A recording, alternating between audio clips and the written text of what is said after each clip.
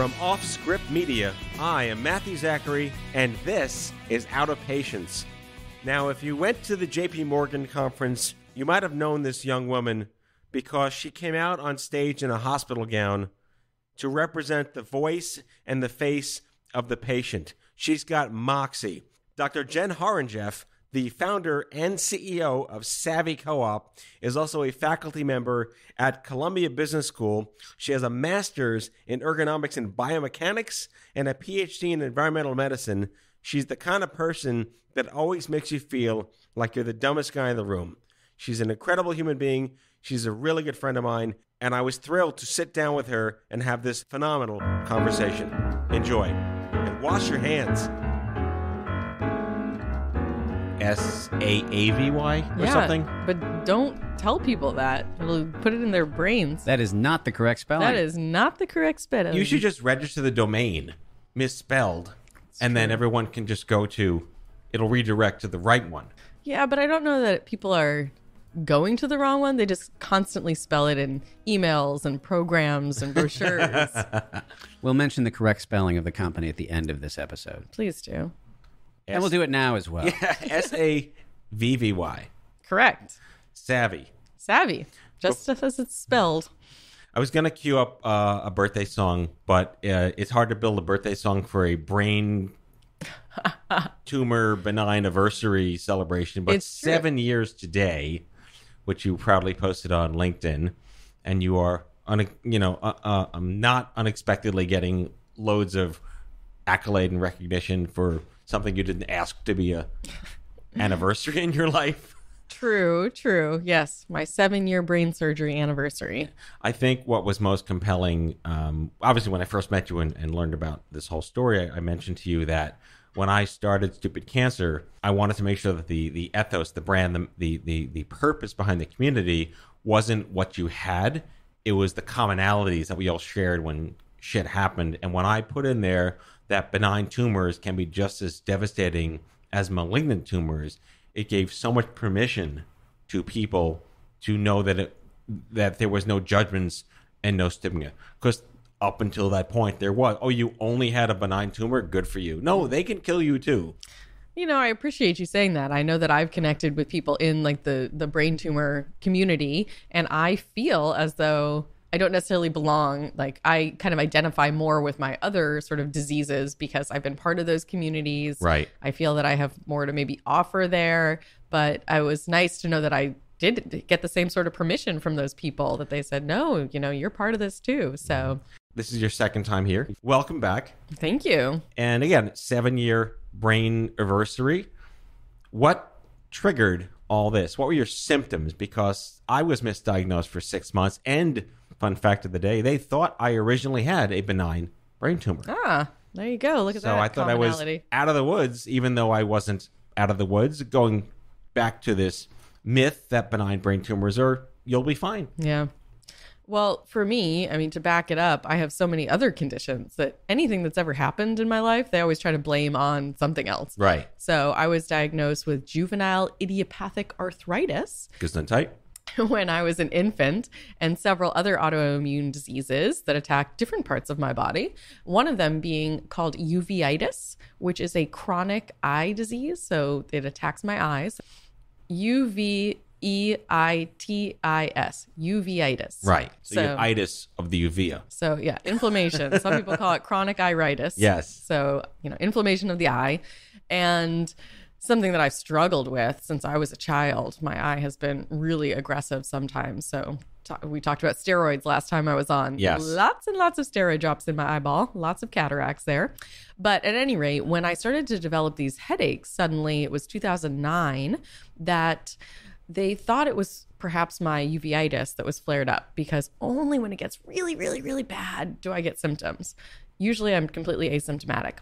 But I was having this kind of like eye, facial bone, headache, pain. Fun stuff, basically. Yeah, I was like, something's wrong. And naturally, as you can imagine, this presented itself on a Friday late afternoon. So therefore, I could not get in to see my ophthalmologist. Mm-hmm. So they sent me over to the ED. So I went to the hospital by me. I was living in California at the time. And I went there and naturally had to wait in the queue to be seen. And ultimately, they did a CT, and it was like late at night. And they came back and they presented it so nonchalantly to me that I had a tumor and that I was going to have to follow up my PCP. Well, fun fact as somebody with a thousand specialists, I did not even have a PCP. So I needed. Because you went right to the source Yeah, and not to the sort of the circus tent. so, Yeah. I mean, long story short, I ended up seeing somebody getting referred elsewhere to a different academic hospital in California. Was seen there, and they were prepared to operate. Uh, they were going to take it out then, but I was living in California at the time. I am from Boston, uh, and my mother, if I can quote her, said, "Like hell, you're having surgery in California. You're going to come back to Boston to be seen." Right. and I moved from California to Boston in four days. I was and I was getting ready to move. Sounds like his own reality show. I know. Well, I was getting ready to move to New York for grad school, and that's what brought me here to New York. And so it just expedited my travels. I packed things up. I hopped in a car. A friend flew out, and we drove together cross country. My dad flew into Baltimore to make the final leg so that I could make my 9 a.m. appointment in Boston that next Monday. It's like Death Race 2000. It was. It was bananas. And so I was seen at MGH um, and Mass General Hospital. And it was there that they said that this is just under the size that they would operate on. And so we watched and waited. And the headaches went away. They resolved on their own eventually.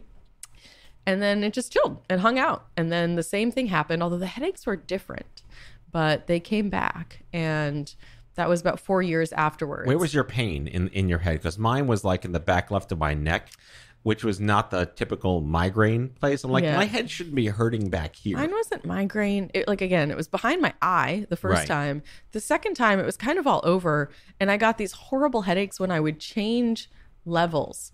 I- It was Christmas time, and I was in at my family's house down in Georgia, my uncle's house, and I stay in the basement there. And going up the stairs, I could barely do it. I was grasping onto the rails because just changing elevation is what would trigger this wave of pain in my head right. and I took everything that I had to get on a plane and get to Boston because I refused to be seen in um, in Atlanta, where I knew inevitably they would do another CT scan, and I've Right. had so many on my head at this point.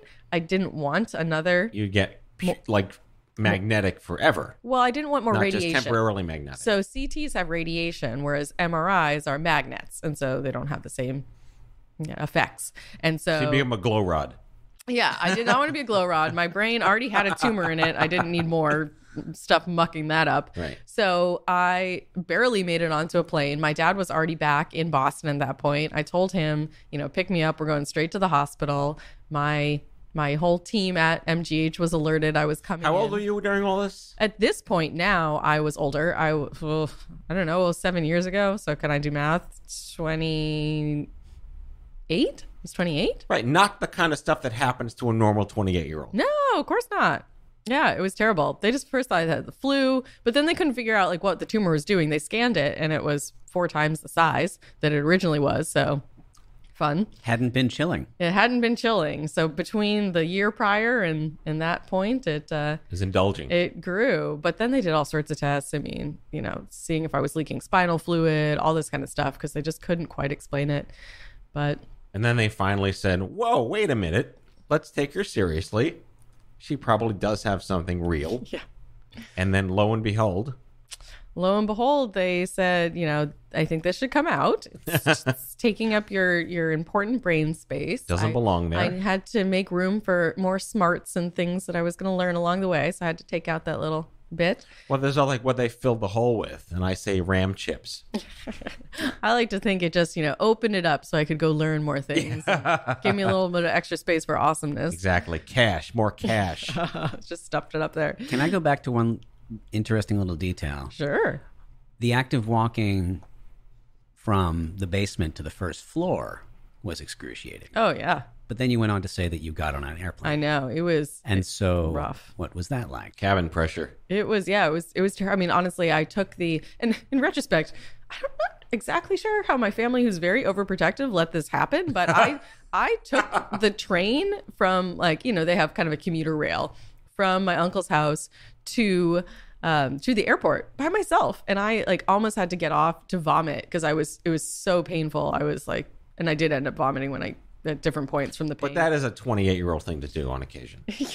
Not so you had one normal experience. yeah but yeah so it was it was bad i mean i barely even remember it from there but i remember getting off and like just so painful like my eyes were swollen shut type too painful and like tearing up that i thought i had like the flu or something because i just looked miserable but it was i was miserable but from a different source oh, Was there any one point where you really wanted to just like like grab someone's neck and shake them and say, "Take me seriously"?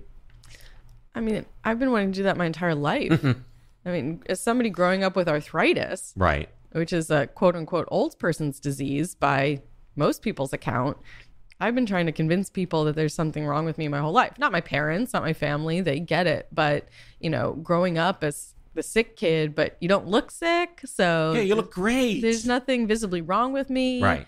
So- Stop complaining. Other people have it so much worse. Yeah, just I mean, and even just again, not believing that there could possibly be anything wrong. Dealing Right. with you're dealing with your friends, your peers, your teachers, your coaches. I was a dancer. I you know had to explain days that I couldn't do it. And you know, there were certain people that believed you and were your champions, but it was very hard for me to talk about. I mean, I remember there were times that I would be tearing up if I would be you know asked to talk about it because I just was so uncomfortable being singled out as the person that something's wrong with. Right. So I was the one that just wasn't normal. But in some ways, now as I've gotten older and I work with all these different patients who have been diagnosed later in life Mm-hmm. with whatever it is, it's a very different experience than what I experienced, where I've always been sick. Right. So I didn't have a normal life and then Born didn't- this way. yeah, I mean, essentially, I don't remember anything prior to that. So I didn't have something that was like normal and then life changed. Life Right. has changed, but not because of any like one diagnosis. I've always been on a bumpy ride. Right. And it's not like there's a contest of like the the battle inside you of all the rare things that are competing for your love. I know. it's uh yeah, it's been interesting. So that's what like even though I have so many different diagnoses, I usually just always relate it back to the arthritis, the juvenile arthritis, since that was my first diagnosis. And then I mean, who even knows how they're all related, right? Just there's so many comorbidities that I don't know. And they just sometimes need to slap some diagnoses on you for coding purposes Right. just to get treatment. Right, exactly. So- There, I'll make a random pop culture reference. If any Simpsons people are listening, there's an episode where Mr. Burns is dying, they cram all and all of the comorbidities that he has are represented by plushies going through a tiny door that Smithers has to open, and they get crammed in the door. And it is this homeostasis of crammed comorbidity plushies that keeps him alive. Yeah. and he says he's indestructible. That's what I remember exactly that. And I remember watching that and being like, "That That's is my life. They made a cartoon graphic Yes. about me. Yeah. So It's yeah. So that's your life at 28 years old. so yeah. So, you know, so be it. And then I I had the surgery and that was seven years ago today. How long are you in the hospital for that? Not long, under a week. It wasn't too bad. Um, Was it exactly what they thought it was? no, Okay. Of course not. Of course not. So they, when they got in there, um, it's different. Um, and then even so, it took about a month or so to even get a biopsy result because A month? It sent got sent around to so many different people because they just couldn't come up with a definitive diagnosis of what Wow. the heck this was. Um, so. Yeah, I mean, verdict's still kind of out on what exactly it was, but it hasn't grown back. What do they think? What was the the the rough conclusion that they thought it might be? Uh, the consensus, if you would. a craniopharyngioma. oh wow. Okay. So The more syllables, the better. By the way. Yeah. So, yeah, but it hasn't grown back. It did really wreak some havoc on my life for the next like 18 months or so afterwards. I just got really sick. I mean, my body had, my brain had been mucked up. So Right. my body just like couldn't regulate things. I Did you have like gait issues? No, no gait issues outside of my normal arthritis issues. Right. Um, but no, it was more, I developed diabetes insipidus, which is where your body can't concentrate its urine correctly. So I would have to swing back and forth between trying to drink as much fluid as I could to then not being allowed to have any fluid whatsoever just to try to get my sodium levels correct so that I didn't have a heart attack. But then that ultimately resolved itself. But then I just was super sick. Like I became besties with my infectious disease doctor here at NYU because I just got so sick all the time. In that time, I was tested for literally the bubonic plague, Legionnaire's disease, HIV, all sorts of different things. Because they're like, this just doesn't happen to normal people. Right. So I was given Robitussin for what ultimately was brain cancer amidst these six months of we don't know what's wrong with Matt when I was a, a college senior. And literally, this was not meant to ever be a joke in my life, but I was told by campus services that it's probably all just in my head. Yeah. That's literally. A, I thought I was making a great joke about that. That it was in my head. Yeah. And then I went into the the you know doctor's office in at MGH, and of course I wasn't the first person that had thought of that. So Yeah. they had like a whole binder of like pamphlets called like it's not just in your head. Right. It's like they're good. And there you go. So if you were if you had a Robitussin for brain cancer moment amongst your sea of misdiagnoses, would Legionnaire's disease be part of that? I mean, I guess it just. But Bubonic plague, though, I think that might be a a, a, a cake topper. I know. And that's because they thought, because I was out in Oregon, where apparently there are a lot of like moles or was it groundhog? Some some little rodent, Some rodent. dirt faring rodent. Yes, some sort of marmot of sorts. A marmot. A marmot. And apparently said marmots will carry that. And so because I was so sick and they were like, maybe you picked up the bubonic plague. So Sounds way- to me like your humors were imbalanced. something was I've never said the word marmot on any podcast I've ever done ever in 15 Can years. we get a little sound effect? Marmot. I'll throw it in there. Yeah. That might have been the sound effect. but so that's my my brain surgery story. So when I found the rest of my life to be oddly um, unpredictable at 22 years old, and I had no immediate path, I had this wish that there was some way to sort of rehabilitate back to what I had lost. But then you're in a situation where you've grown up in a in in with a bunch of things that are defining who you are as a person out there. But then they take a piece of your brain out. Was that an additional pivot for you to find whatever normal meant to you at that point? That's a good question. I mean, I don't know. Eh, That's what's so bizarre is the brain surgery, while traumatic, it was more that it just like got in the way. Right. But Speed I, bump. But I've been dealing with that. That's what like you learn how to be resilient. I was in the middle of doing my PhD. Was actually towards the end trying to write my dissertation. My well, I shouldn't throw anybody under the bus, but it was challenging to communicate why I was out.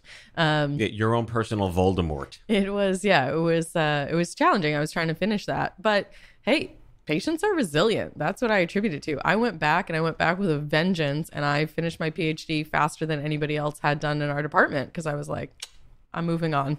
So that's just kind of how I've approached life. I'm. It's funny now that I have my own company. I've realized a lot of things that when people tell me something can't be done, I am absolutely going to go and do it because I am driven by no's. The best thing somebody can do is tell me no. And then that's what fuels me. I've been having that my whole life. I mean, I had arthritis, was told back in the 80s when I was diagnosed, don't move, don't do anything. Like you're going to hurt yourself. Just don't move, don't be active.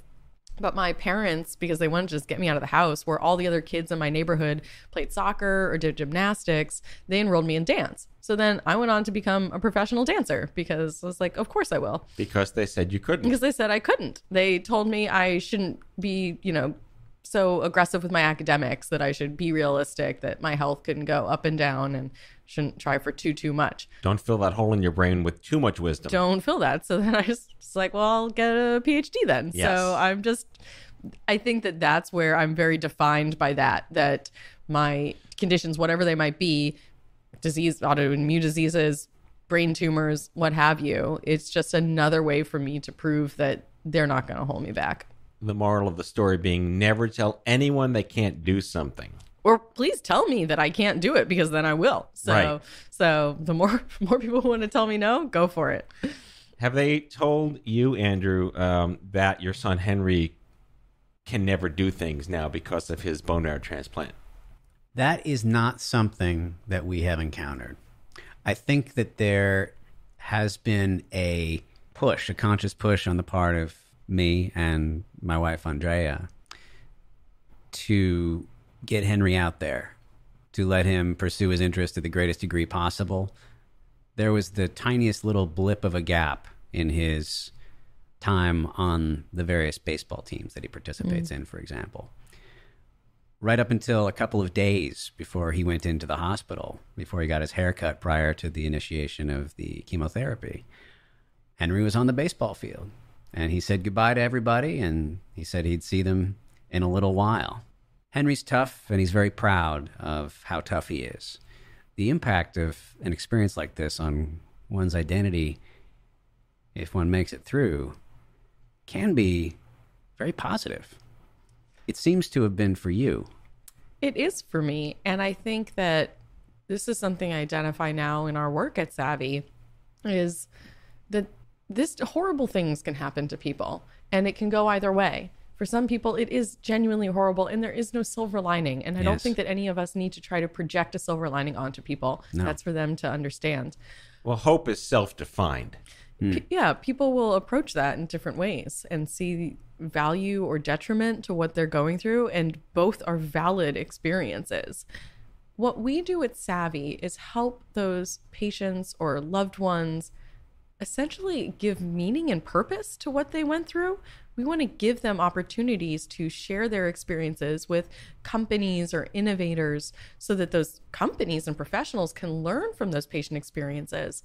And what we found is that it's it's so meaningful and impactful for patients to be able to use their crappy experiences for good. Mm-hmm. And because I'm the academic by training, let's nerd out for a second. We actually Dr. Horonjeff, you have a telephone call at the front desk. yes, we actually know that having a sense of purpose reduces healthcare utilization, improves health outcomes. And so we are doing that in our own little way that people can share those experiences in a way that feels good to them. So, you know, they might not be stopping and creating a career out of it like I did, but they might be able to take a survey or get on the phone with a company and share their experiences. And we get feedback from those patients that go, you know, it was really great to talk about this. Nobody's ever asked me these questions. I've never thought about my experiences in those kind of ways. And it's just such an outlet for them because it's a lot to hold on to on your own.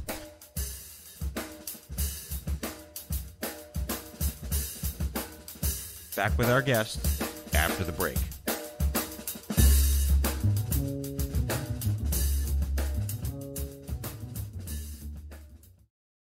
Has your chronic illness made it difficult to continue working in the traditional way?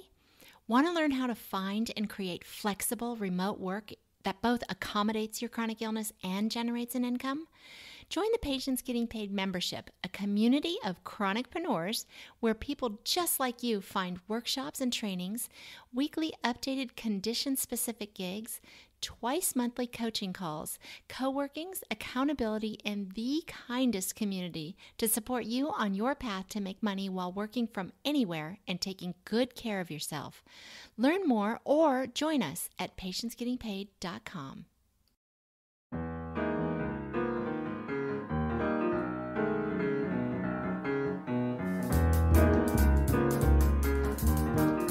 So, after they told you you'd never be a dancer, that you'd never be a doctor, did anyone tell you you'd never be an entrepreneur? Well, I don't think anybody thought I would be an entrepreneur. I never had any training for it. But the biggest thing I get knows about is that we are a cooperative. So we are taking a very different approach to entrepreneurship, and that is to create a tech platform that is collectively owned by its users.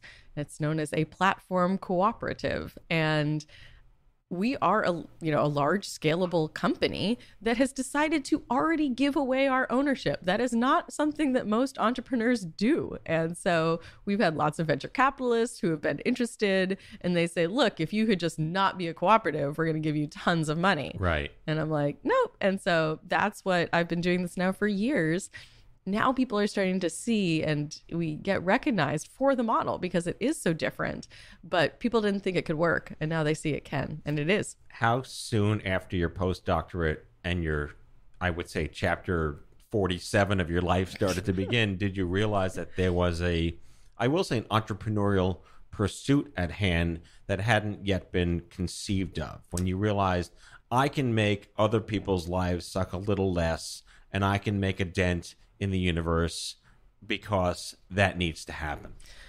Well, when I think back to things, I've always had that quote unquote entrepreneurial spirit. I've been building things for a long time, just not in other companies. I've been very involved in patient communities and advocacy organizations, building programs for those patients for a long time. So I've been a leader in those communities. It's just evolved into finally seeing I need to come out of the nonprofit world and need to create a standalone entity that we work with patients across all conditions. So that's why this couldn't be housed under one patient advocacy group. It needed to be something that could you know stand by itself so how long after i finished my phd not long because it uh, it just became so apparent to me on the professional side that i had a seat at the table because I had a PhD, yet at the same time, you do not need a PhD to share your patient experience. But, you know, I'm an FDA advisor, I sit on their committees, and it's because I have a PhD and can, you know, understand the science mumbo jumbo. But it doesn't have to be me. It could be any patient that is able to articulate their experiences. So it was when companies or innovators or my, you know, research colleagues in academia kept coming to me to share that patient perspective. And they kept coming back. They would say, "Hey Jen, you're a patient, you know, will you weigh in on this project or that committee?" And when it became so apparent that they did not have access to other patients, that was my like aha moment of okay, let's let's get you guys connected with some other people because I was already involved in all these patient communities. I would just, you know, post on my Facebook or whatever it is. Hey, anybody else want to weigh in on this? And that's when I was flooded by patients who wanted to contribute. And they're like, "Oh, I'll do it. I'll do it." But they had no idea that these opportunities were out there. There was no streamlined way for them to find them because oftentimes it's either the low hanging fruit, people like myself, kind of the leaders that had a seat at the table who were being asked, but I'm white with a PhD and live in New York City. I'm not representative of everybody with my condition. Correct. So that was kind of the impetus to playing matchmaker. And when I got all these patients and caregivers that wanted to share their experience, I needed to operationalize it. So I was like, oh, fill out this form. And then it just started taking shape of okay, well, now we have kind of a system. This is not unique to any one health condition. So, how can we create a platform that makes it so easy and seamless for these innovators connect directly with these diverse patients for whatever those opportunities are surveys focus groups user testing you know different opportunities like a podcast just all of these opportunities to share their experience. And that's how it took off. My uh my perspective after running stupid cancer for all, the years that i did is that industry perceives the end user tr- traditionally as the doctor. And yet the patient is being leveraged as an unwitting end user to help industry talk to doctors. And that loop doesn't close. Well, I think what makes healthcare so unique, and let me back up and say, when I tell people outside of healthcare what I do, they look at me like I have a thousand heads because they don't understand how this doesn't exist. Right. Like, isn't it obvious that you would talk to the end user because every other consumer industry does that. But in healthcare, there are too many stakeholders. Mm-hmm. And the person, if I'm buying a car, I will go and I will look at said car. I will then buy said car and I will then drive said car. Well, you could also listen to what other people think of said car. Yeah, you have choices, but you're the decision maker, you're the purchaser, and you're the user. In healthcare, those are all different people or different stakeholders. You have providers that are the ones who decide what you use, the healthcare insurance companies that are the ones who pay for that, and then those lowly patients who are the ones that actually have to use it. And that's so important because we're throwing all this money into innovations. And we get all the way down to the road and then they hit the market and patients are expected to use them and they either are too cumbersome to use, they don't make a meaningful impact, impact, they have too many side effects, they don't integrate with other things in their lives, and that's why they fail. So we just wasted all this time and money creating things that should never have been on the market in the first place. All they had to do was ask patients, but they didn't. Right. It's it's the tech is only as good as the people that know it exists to take advantage of it and can afford it and have access to it. And the tech's only as good as if it solves a meaningful problem. Right. That's what so many people in the tech industry are coming into healthcare. And A, they don't understand the complexity of healthcare. I'm excited they're here because they're moving things faster and they understand iterative design. But we just need to say, you know, healthcare is predominantly a B2B to C play, business to business to consumer. And so from that standpoint, they usually just talk the B2B part. They only Right. talk to who's going to mm-hmm. pay for it. And they forget somebody else has to use it. And then when it hits the market again, they're like, "Oh, that's weird. Nobody nobody likes my product." Yeah. There's a great video that you made explaining the the idea behind and the structure of Savvy Co-op. Uh, you used puppets to tell the story. I Why, love it. Yes, I did. That's how I met her, by the way. She came to Stupid Cancer with her puppets. And, Yes. And, and everything jump started from there. Yeah. So people should look it up. We can probably throw a link up, right? Yes. But there's an element in that's covered there and elsewhere, of course, that, that we haven't talked about yet. And that is, you know, when you compare Savvy as a tech platform to platforms such as, well, Facebook or uh, others, what's happening there is that uh, on Facebook, people are sharing their data at no charge, and that data is being sold to other people, and the people providing the data are not benefiting from it. That is not quite the case on Savvy Co-op, is it? No, that's not the case. We believe that the patients are the ones doing the work, providing the insights. So that's why we gave them ownership in the company. I mean, truly, when I set out to start Savvy and realizing that what we did was a, a for profit type endeavor, it did not sit right with me to build a company that was going to profit off of my peers. I am very much identified as a patient. And so that didn't feel right. And that's why I ended up stumbling into, well, this could be a cooperative, because then anything that the patient is generating can be contributed back to them. So as a co op, members have a vote in what we do and they share in our profits. They earn dividends based on their contributions. So that can be through sharing data, it can be participating in these different gigs and opportunities, it could be recruiting members, anything that's contributing to the co op. They are then, we're tracking that in patronage points so that at the end of the year, we would redistribute our profits back to them equitably.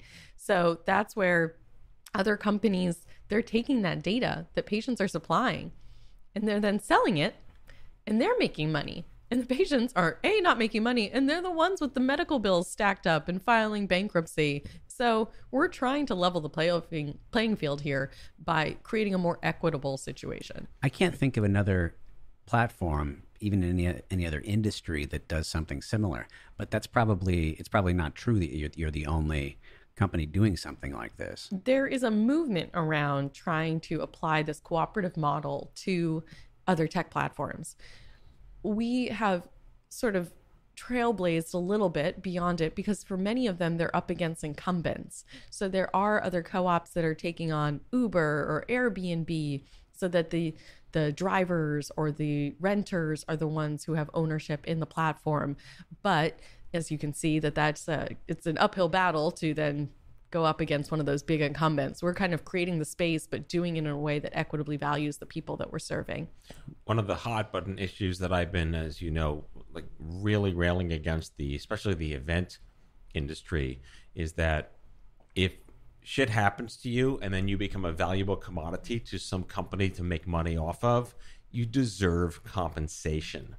And every time that I've been asked, or Stupid Cancer was asked, or someone in our community had been asked, we need you on this panel so everyone in attendance gets a perspective. Great. Here's how much it costs to pay us to give you people or to pay me to sit on your panel or to get this idea of compensating people who are of value to you should be a no-brainer to industry and yet we've been so decommodified by all of this that they just expect us to show up and give them what they want for free Well, absolutely. And I've heard every different perspective and uh, excuse for why one doesn't pay patients. no budget No budget certainly is one of them, and we're working on that.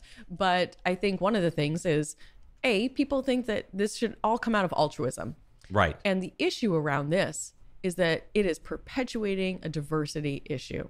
That if we are only going to include people that can afford to take time off of work and to come in and to be able to pay for their own childcare, or whatever is needed, that is going to drastically change the the amount of people that could be able to participate. And so if we truly want to innovate for all, we need to you know, set the budget aside and so do the work to make that happen.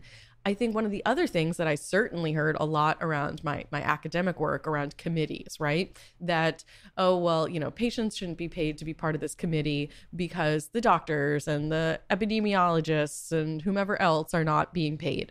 Yes, but they're there professionally. They have jobs. They it's have- their job to be there. Their salaries are going to cover this, and it may be part of their professional advancement that they are there. It looks good on their CV, whatever that might be. If I work at TJ Maxx and I have to take time off to go share my heart failure story, Not a sponsor. it, yes, not a sponsor, using an example that it's just going to be a different situation. And if we don't recognize that, then the people that are the ones saying they can't do it, they don't truly want to be patient centered. Should there be a national patient day rate movement?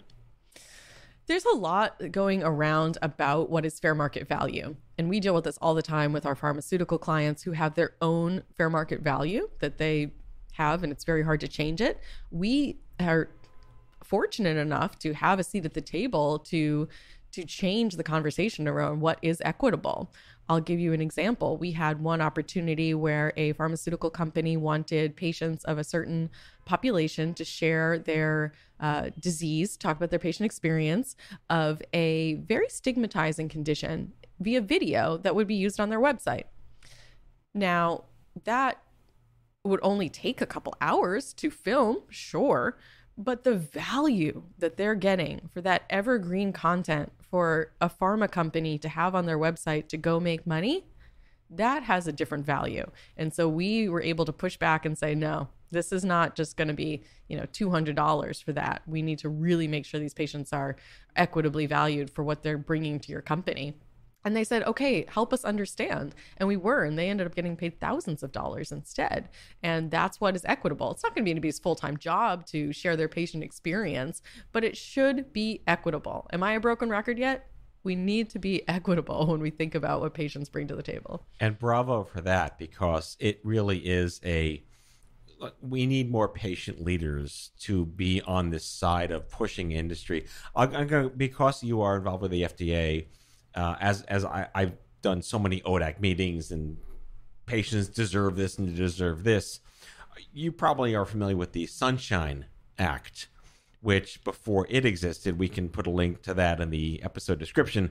The Sunshine Act was supposed to do a whole bunch of nice things. It wound up, you know, curtailing industry bloat and, you know, things that didn't necessarily need to happen, you know, doctor conferences in Aruba and buying people cars and things like that. Clearly not okay for industry influence. But I feel, and I want your thoughts on this, that what it really did was push it so far to the right that it went up prohibiting the pharma companies from truly seeing lower risk in patient influence.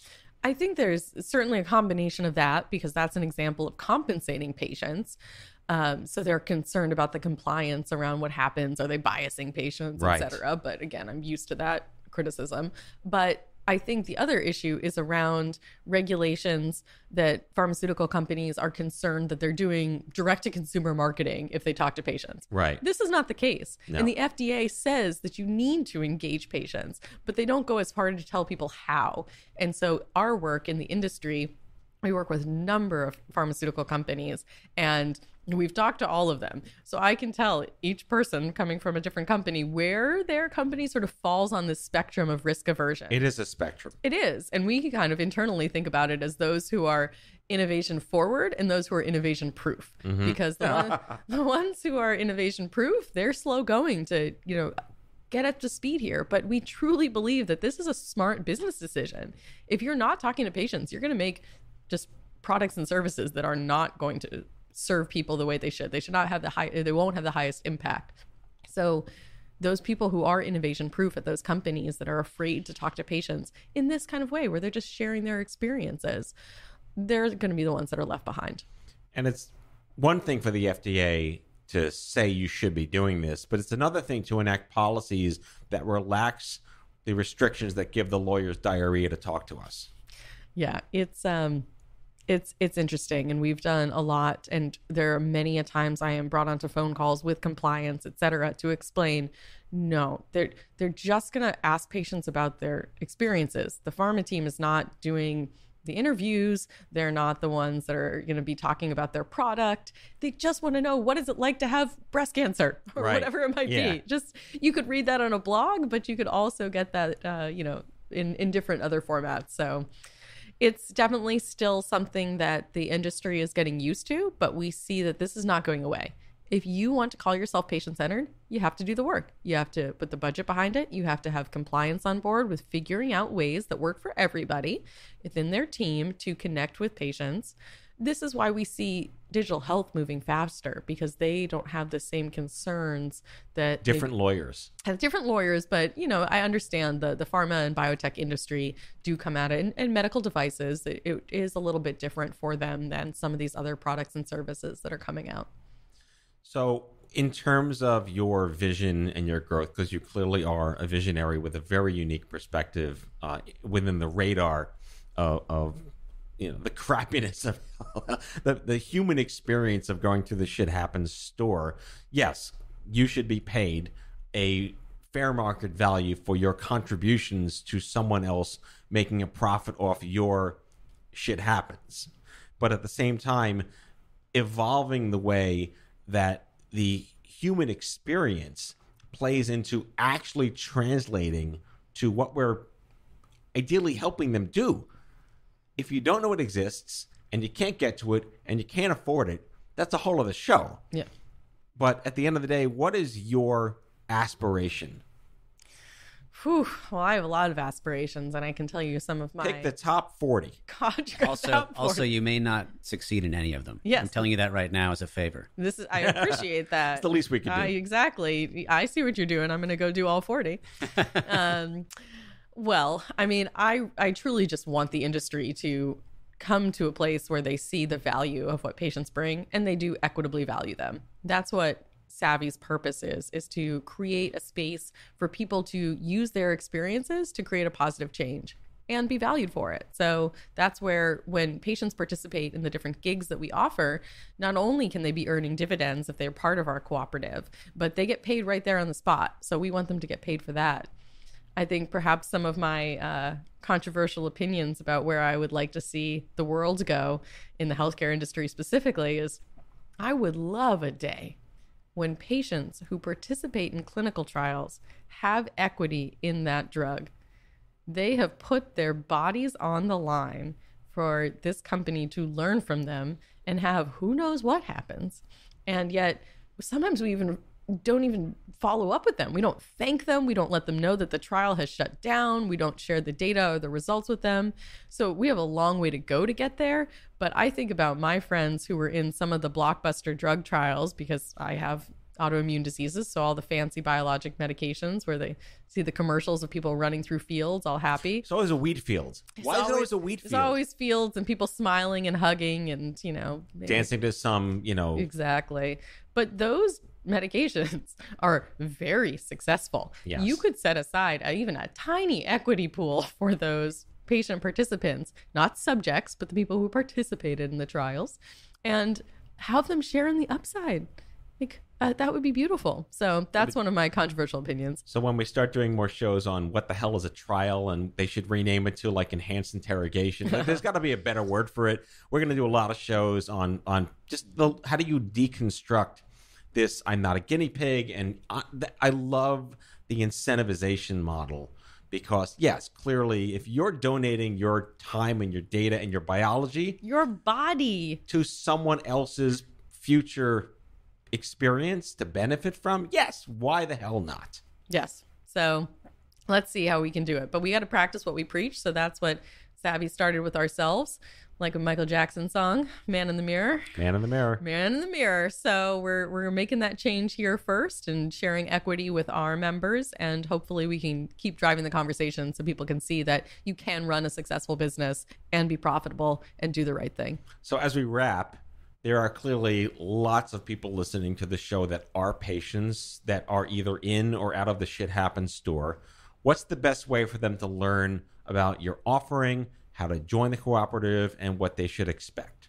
Well, they should first start by going to our website, savvy.coop, and that is S A V V Y dot C O O P. And there you can learn a little bit more about what we do. That's a place for both patients and caregivers, as well as companies or innovators to go and find out more information and sign up.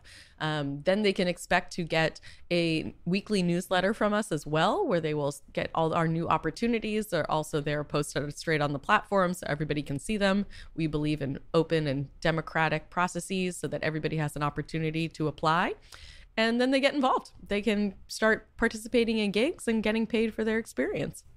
What a great idea. We're excited that we're still here and going strong, and that uh, more patients and companies are seeing the value and bringing the two sides together.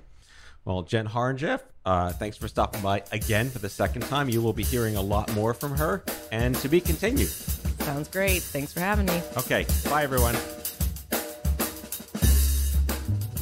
That's all for today, folks. If you like the show, be sure to subscribe, leave a review, follow us on social, and tell all your friends to listen. Out of Patients with Matthew Zachary is a product of OffScrip Media.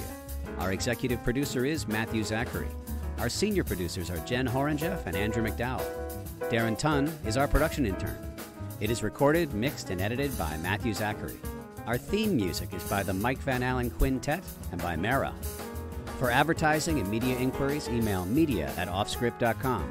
Hit us up at contact at offscrip.com to share comments, feedback, and make guest recommendations. For more information, visit offscrip.com.